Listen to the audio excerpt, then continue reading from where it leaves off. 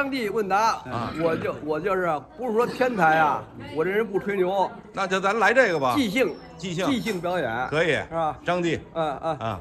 你这比如比如姓张，啊，张老三，我问你，大家好，我是紫禁城下的胡同。这八十一岁的北京大爷呢，能吹会唱，关键是呢不识谱还不跑调，这可能就是天赋。特别是以前呢逮鸟还帮人包鸟，如今呢就以唱歌为主。咱们看看到底是为什么呢？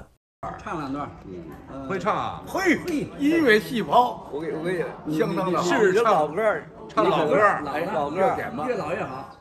老歌儿你懂的吗？老歌懂的呀。你你说你你说一个什么歌儿我都会唱。哎呦，我们我们还可以点唱哎，为什么呀？啊点什么唱？台湾有一歌曲，啊，呃，那那那叫什么？张倩是张张帝，张张张帝，张帝问答，张帝问答啊我就我就是不是说天才啊，我这人不吹牛，那就咱来这个吧，即兴即兴即兴表演，可以是吧？张帝嗯嗯，嗯你这比如比如姓张，啊，张老三，我问你，你的家乡在哪里？我的家在山西，过海要三百里。嘿，我说说这个，我我这个看电视看的，跟他学的，啊是吧？啊哎，你你看你你看那马一涛唱那个点几个马儿哎，这嗓子我抽烟呢啊。不行了，年轻时候，哎，年轻时候嗓子，啊。这时候天赋。啊。我有一个缺优点什么呀？啊，唱歌老歌从来不跑调，不跑调。我再给你点一个啊。啊，新歌，那北海划船那叫什么歌来着？让我们荡起双桨给我。们来一首这个，来来让我们荡起双桨，小船儿推开波浪，海面荡映着美丽的白塔，四周花儿绕着绿树红墙，小船儿轻轻飘荡在水中。这个这个词儿啊，好好有时候记不住了。这就不简单。不，我们老伴儿说我谁都忘不了啊，现在记忆力不灵了，现在可以现在记忆力不可以灵了。，哎，关键您这个不跑调那个那个那个马一涛那个啊，马儿。马儿这嗓子不行了，啊咱这咱咱咱咱这先马儿哎，你你要是嗓子不灵了吧？这这是这是高音儿的啊，，对对对，高太高了。还有还还有那个尤文昌唱那个啊，鞋儿破，哎，他帽儿破，身上的袈裟破，你笑我，他笑我，什么什么什么什么。一把扇儿破你，看，你看他的记忆好了，现在记忆力不灵了，现在记忆力不灵了，记忆力这记忆力真不行了。那您年轻爱唱歌啊，年轻时候唱是吧年年年轻时候我们音乐老师姓吕，啊，到我让你唱一个，年轻时候嗓子刚教完这歌七八岁的时候，就让他呀唱，现现现，他不出场，不出场，现现俺就场。嘿，我有一个天赋，什么天赋啊？嗯我我唱新歌老歌，基本不不跑不不跑调，不跑调，是吧？啊真是基本不跑调。还有呢，带口琴了吗？啊，带是吧？哎呦嘿，他呀，只要您说出这歌，我他就吹我我我这口琴呢，我也没学过，自学成才啊自，学成才，这叫天赋真行啊，啊！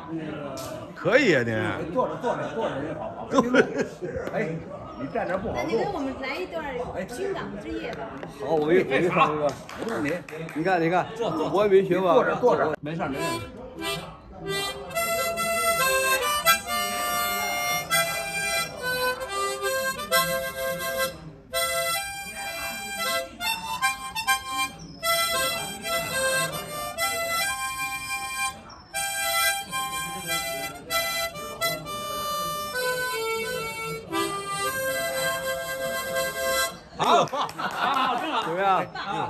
可以一人一人，您再说什么歌，他还能吹出来。反正我是，反正我自个儿会唱的歌啊，基本上不跑调，真可以，啊，基本不跑调。还会吹口琴，哎很少这这口琴我自个儿是自学的，没人教给我。啊，自己学的，找调。只要只只要我知知知知知知这歌，基本基本都跑不了。嘿，真行啊，哎，你这呵识谱不识谱？不识谱，哎呦，我不识谱，就能听出来不识谱，我我这。我现在耳朵、眼睛都没事儿啊咱俩说话这么点小针，蹭一下我都认上。嘿我，眼睛没毛病，眼睛没毛病啊，哎呦，真棒没问题。真棒没问题啊！再再再聊聊，再聊聊。啊呃那个西藏的歌听过吗等？一会儿，什什么？西藏的歌，没有你唱西藏那个，啊？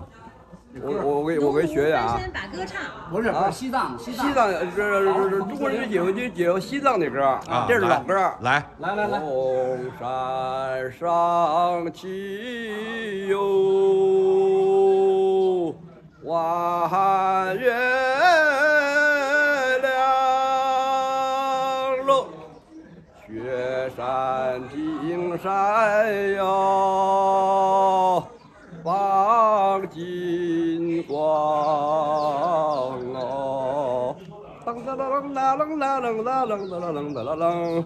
自从来了解放军哦，藏民的生活不一样。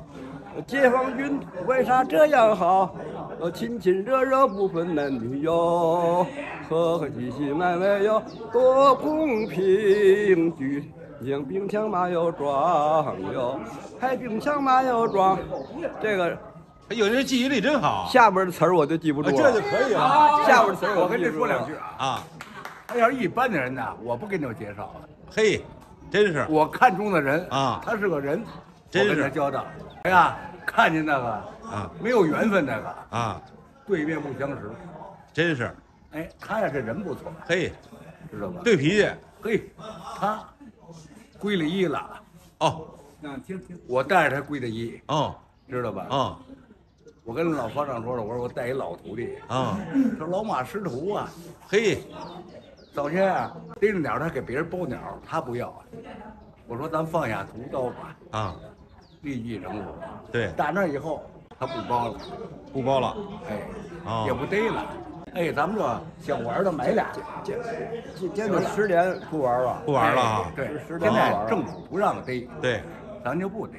人国家有 国家有政策，啊我说对不对啊？哎，所以现在咱们就玩溜溜弯儿，啊，我我开开心，没错哪儿高兴上哪儿。啊，今天特约我们啊上这块儿，您说了，我给你找一个老师傅，嘿，真好您，哎，嗯实际啊，嗯。佛学里头啊，没有师师叔师大爷，啊都是师姐师妹、啊师哥，哎，没有小哥哥的，嗯。我是他师哥，啊 看哪儿？因为学这个，我比他年头多，哦，聊得来。嗯。说我说的对不对？啊，您现在是师哥，对呀、您看岁数小。他三十五岁的时候我就认识他，啊，他三十五岁的时候，他都35七他都七十五了，三十五岁就认识啊，三十五岁我就认识了。认识这么早呢？因为什么？我们那个老丈杆子姓黄，跟他跟他原来那爱人啊是一个院儿，哦，说白了都是老街坊。老街坊有困难，有什么困难你说说？嗯盖房啊，那阵儿就是就是我们那个老岳父就说聊起来，说的刘宇，我们的闺女儿，那那那阵儿都归房管局了啊没地儿住啊啊，说让他请他帮个忙，哎，盖间房，稀里哗啦一天就完了，真快。你啊，我给他一一天，带这帮人哎，不是，他说甭带壮工，他说他儿子他们不是有那知道吗？高楼万丈平地起，平地起一天就完了。嘿您听说那，速度够快学生们给累的呀，啊，全是十五六的学生啊啊，说这辈子怎么不盖房了，那那太累了 那那给那那累亏了那阵儿都是黄土啊没有白灰。那阵儿穷啊啊，那阵儿国家物资匮乏呀，嗯差不多差不多有这么高啊，差不多有三米到三米五，对，嗯，没问题。行行，盖个民房啊啊，木匠，我带了四四个瓦匠，就五五个人，五个人没有壮工，啊，壮工是他儿子，全是技工，不是他孙子，哦哎，行哎，一天啊连玻璃都给安上，啊，连窗户带玻璃我都给他行，歇会儿。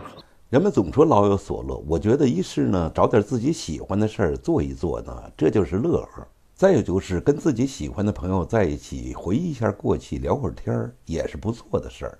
特别是人老了，要敢于表现自己。我觉得这二位大爷呢做的就不错。对此您怎么看？欢迎大家留言评论。